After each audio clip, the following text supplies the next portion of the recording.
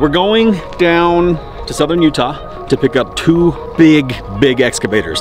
These machines haven't run for like 10 plus years, just like some of this other equipment we've been picking up lately. But there's two of them and they're identical. I know they've been sitting for a while. This one was the last one that ran. Kager Mountain Dew.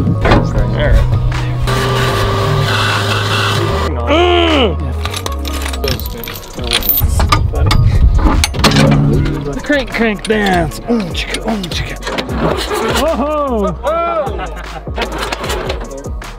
Um, it was running good for a second and then all of a sudden it just quit. Sounded like either the engine seized or one of the injectors stuck wide open because it just started pouring black, uh, black smoke out, which means one of the cylinders probably getting way too much fuel. The tracks weren't working, even when we did have it running. The only component that was working was the boom was going up and down, uh, the bucket was leaking, tracks weren't moving, and it wouldn't even swivel. So either way, what we're gonna have to do is probably pull the gears out of the tracks, and then I gotta run down to town and grab a loader. So when I originally uh, made the deal to buy these machines, um, the owner, uh, Paul, was like, hey, yeah, we got a loader down here that you can help uh, push these machines around and put, get them on the trailer. The problem is, Paul didn't know that we were coming down to actually take the machines today. He thought we were just coming down to get a, get a lay of the land. And I was like, no, no, we're here, trucks, trailers, we're ready to rock and roll. So the loader is a solid like 20, 30, 40 miles away, um, and it's a big machine. And the only way to transport it is by using one of our lowboys. So I'm gonna head into town, grab it, and bring it back here. Meanwhile, you guys are gonna Pop it on, into neutral, you know? You're gonna pop it into neutral. Take the old gears. Yep. now we just play the game of brutes moving each other around. Loader versus uh, excavator. This is where things will probably get really entertaining. Well, it's been good. It's been fun. That's about all I know. No, we're uh, we're gonna get them loaded one way or another. Funny thing about situations like this, when you're in the middle of them, you're like, oh man, oh man, you know what's going on, what's going on. We always, the day always ends, the job always gets done. You just don't know how it's exactly gonna get there, but you always do. Always happens. So we'll be there in no time. Didn't break tool. Oh, Dave, you are the man. One down, 75,000 more to go. Hunter, oh, oh, That comes off that. Allens. Front cover is I got the, them talking about it. Segment one, Diesel Dave. Park the machine on a level surface. No, it's I know you Diesel brothers aren't paying much attention. Scene one, act one. Diesel Dave takes off the wrong bolts. Loosen and remove Scene all two, Allen sit it against screws the that track. fasten the already planetary on to scene three. to the hub. I read the script last night. All right.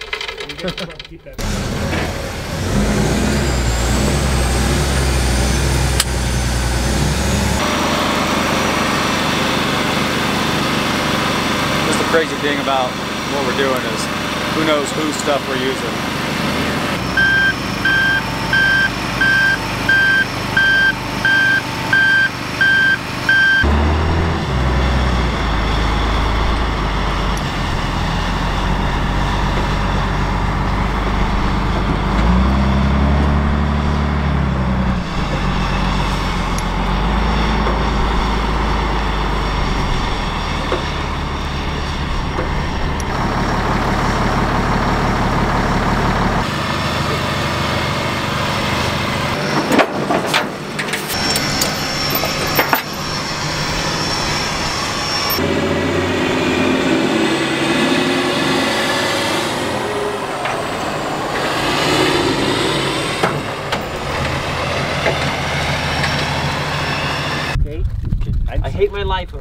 Trying to help. Just let it be. Just trying to help, man. Help you, man. He's a great helper. Take me away. That comes off that. Allens. Front cover has just come right out. Away. We did all of our chores before we came to play. Go that way. Weird rock.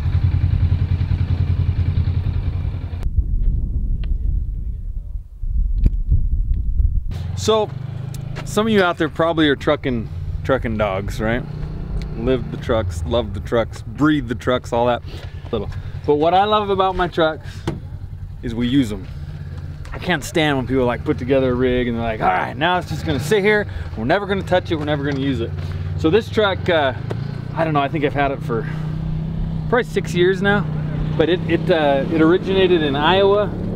Uh, was picked up by a guy in Michigan, who uh, who did about half of the half of the work on it. Um, kind of got a good start on it, and then moved on to a new project.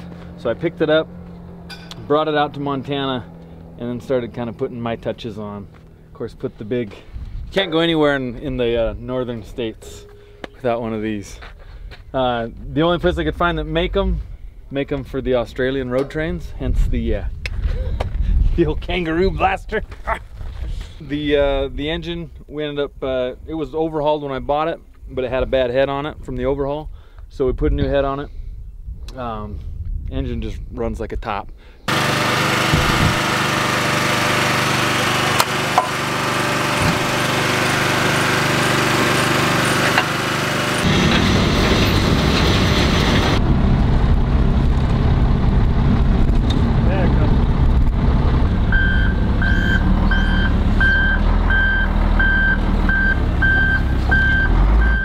So we get back to the site. I've got this giant loader. Like I'm pretty amped because it's a big, powerful machine. I'm thinking this is just gonna throw these excavators around like toys. All right, now we're in business. Got the loader over here. Uh, we just barely got back with it. I'm pretty sure the other guys have been working on getting the uh, final drive gears out so the machines will walk freely. Both are in neutral. Both machines are neutral, so now we just gotta finagle the buckets a little bit. Hey, what's the plan? What do we need to do? Uh, we're gonna try to start tucking the arm on this one, so I'm gonna push on it, see if it'll move. Do we want to chain it up? Well, I gotta move it first and Okay. see.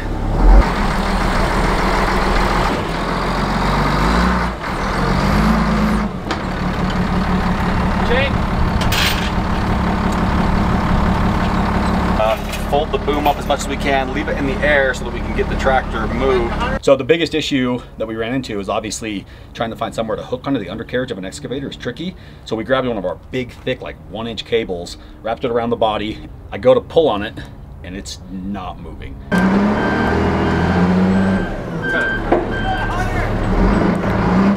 And we've got the gears out of the motors on the tracks, so it's supposed to be freewheeling right now. But as I look at the tracks, they're rusted, they're caked full of mud and dirt and rocks. And so I think we're gonna have to literally just like bump and manhandle this machine to be able to free up those locked up tracks.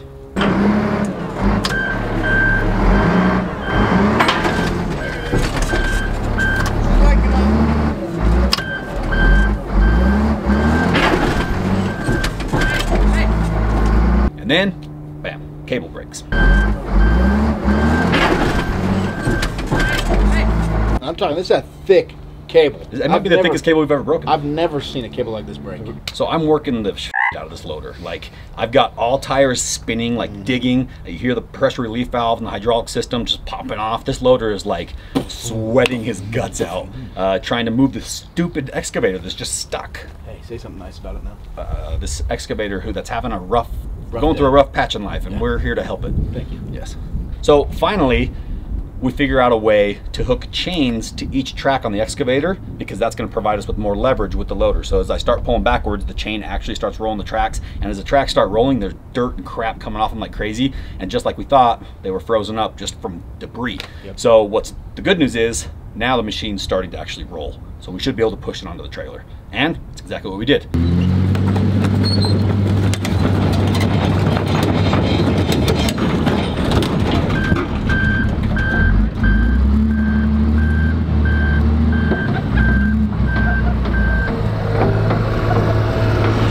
Biggest issue that we had with the second uh, excavator was the fact that when they parked it, however many years ago, they kind of kicked it to the side. And uh, these motors and these, these swivel motors don't like to spin freely. Like I hooked a loader to it and I was trying to spin it, nothing. Wait, wait.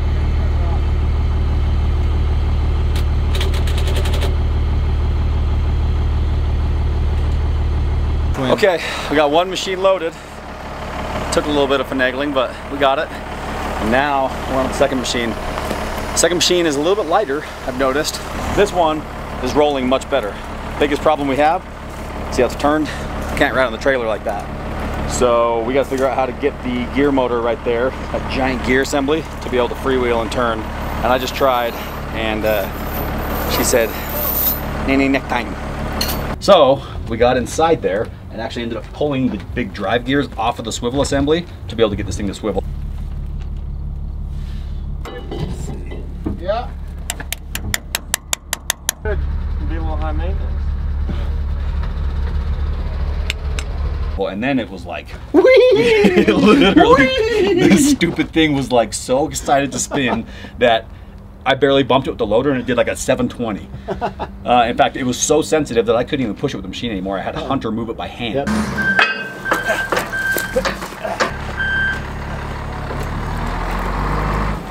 Nice work, Hunter. It shouldn't be this easy. See him when he's just hanging on, just dragging his feet, trying to stop it. Want to stay close in case he does run away on you. What? You want to stay close enough to the counterweight?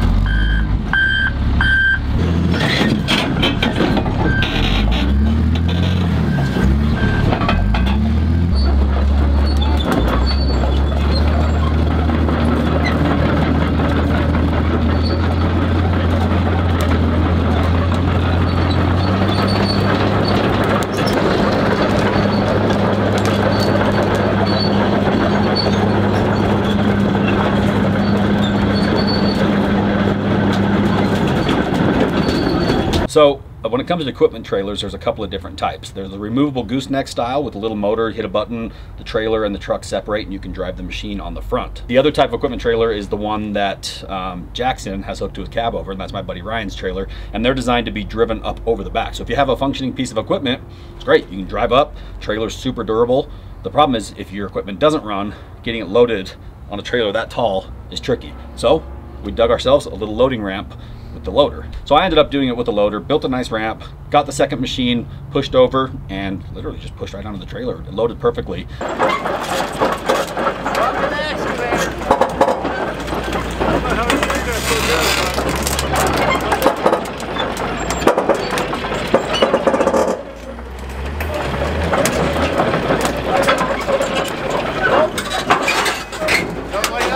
That's how the West was won.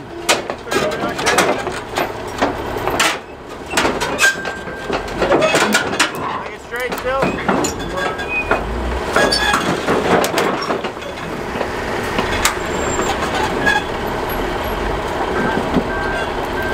If you're ever feeling down, never feeling like you might not get through it, have a chat with this guy. See what We're gonna do it. will raise you up. Raise you up. Raise What'd I do? you up.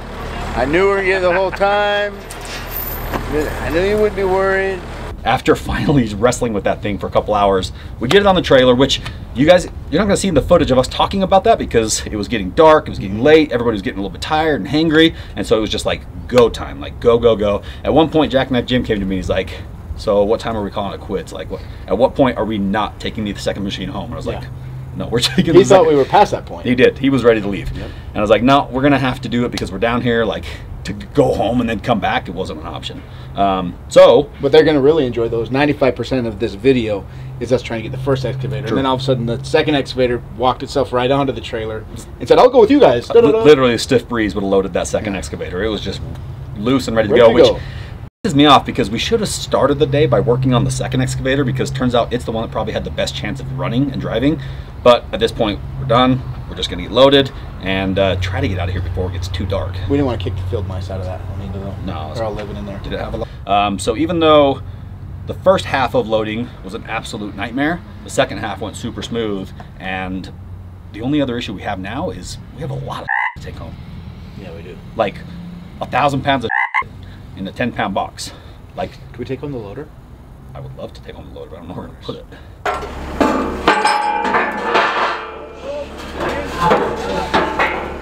I say, forget this thing. Flip it, droop down.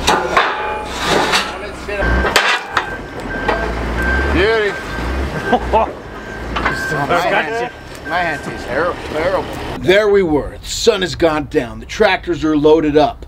We're ready to hit the road when we realize our one friend is still sitting back there in the dirt going, Hey guys, what, about, me? Yep, The Polaris Ranger. That ran us around all day is just about getting left behind. I, I actually had a conversation with Hans where I was like, all right, I guess we'll just send somebody back down for it. There was nowhere for it to go. These machines were so big, they used every inch of the trailer, and we didn't bring a trailer behind one of the pickup trucks, so literally we're at the point where I'm just gonna have to leave it and send somebody to grab it. But then we see a little bit of free real estate. No man left behind. Nope. Right in the front of Jack's trailer, we find this one little patch of real estate, put a couple wooden beams across it, set the Ranger on top, and hit the open road. And about 10 feet after we hit the open road, the logs have snapped and the Ranger's sitting flat on I the missed that part. We're sitting at the gas station wondering where these guys are at, and then they show up like 30 minutes later, and they're like, "Yeah, all the all the, the logs holding the Ranger up." Bro. And the Ranger's sitting like this on, Hey guys! so needless to say, I got a new tailgate coming for my Ranger, but that's not bad. I mean, all things considered, yeah. that's not bad. I mean, Not the fact that we got these two massive machines, plus all of our equipment, plus everything home that same day, that's impressive. This guy's been trying to get these tractors moved for years. And he, everybody who comes and look at him is like, oh, we're gonna have to chop them up, do this, do that. Like it's a big ordeal, and that's why I was just like, nah, we got this, we'll figure it out, and we did. And he was very, very impressed, I believe. I was impressed. I was I'm still impressed. So after all is said and done, we get home around 4 a.m. I think. You got home that early? Yeah, what time did you guys get home? Oh, about 5.30. Oh, jeez. What were you doing? No, we got home at 4.30. Where were you guys at? We were gone. Yeah, everybody was gone and unloaded by the time we made I think yeah, you, you guys got home like a half hour after us.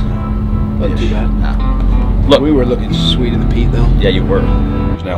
I'm done. I'm out here. Yeah. So, guys, I hope you enjoyed this. Um, like I said, when necessary, we're going to come through and try to put some of this information out there so that you guys can watch this and understand. So it's not just a bunch of crazy clips of us, you know, wandering around doing stuff. So, I uh, hope you enjoyed this two-part video series because it wasn't intended to be that way.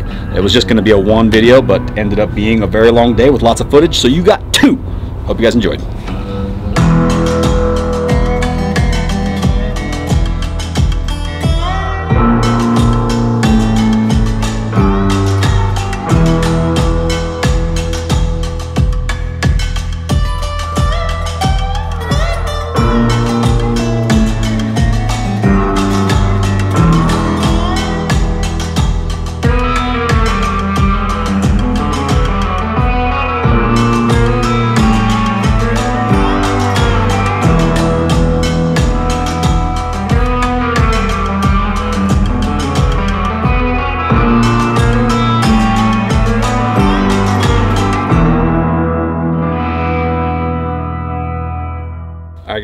Uh, one more thing before we go. You want to do it? Yeah. You Ready? it. Jax! You just did. So you did. So that was supposed to be a shout out to to our buddy Jax. I was we were going to be like, "Hey Jax, thanks for your help." wrong? that's one way to do a shout out 100%, but that wasn't Shout necessarily the way. Okay, My whatever. man Jax. Listen, Jax is, um, is like just a The coolest. stud, one of the greatest guys in the world. Uh-huh. So um, if you get a chance, go ahead and follow his page Yep. because he's got some pretty entertaining content, and he is a very talented individual. And something tells me you're going to see him on the vlog again. Yeah, because he's the coolest soon. bearded trucker around. He gave me all these awesome health tips. He gave me some leave-in conditioner for my hair and beard that kept me smelling fresh since the hot pot fire. Mm-hmm. Then he was helpful down south, taught me how to auctioneer, and he's got the coolest cab over Pete ever. Did you not see the auctioneering that Jax was doing? You know that Oh, on the ride, ride home, he taught me how to auctioneer. That doesn't surprise me. I also don't remember. I was going to say, do you want to give it a 5, shot? 10, Or? 15, 20, 25, 30, 35, 40, 45, 50. I think that's It's close. It's like counting. It is. He practiced for a solid hour on the way home. Something tells me there's a little uh, little connection happening here between you and Jack. No, it's You- good, man. What are you, You talking need- about? You need a new best friend. That's fine. Hi, Jack. All right. See ya. Here he comes. Whoa, there he is. Get him.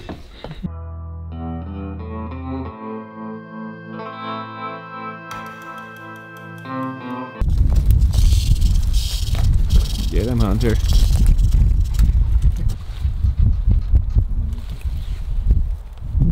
that a real footage, or did you Yeah, find they're that on the spot. You actually got the footage of the rattlesnake. Yeah, I mean, Hunter was pushing it off too. We poke it with the stick. That's impressive. I thought you used stock footage. No. You guys see that footage of the rattlesnake, right? That we actually saw a rattlesnake, but when we saw the footage, we're like, oh no, he just got that on the internet. Davis put himself in the lion's den, the mouth of danger for your entertainment. The line of fire. Everybody in the comments below say thanks to Davis and Hunter For what? for scaring up a rattlesnake for entertainment. No, Hunter loses any thanks by his equipment operating skills. Break it even on Hunter.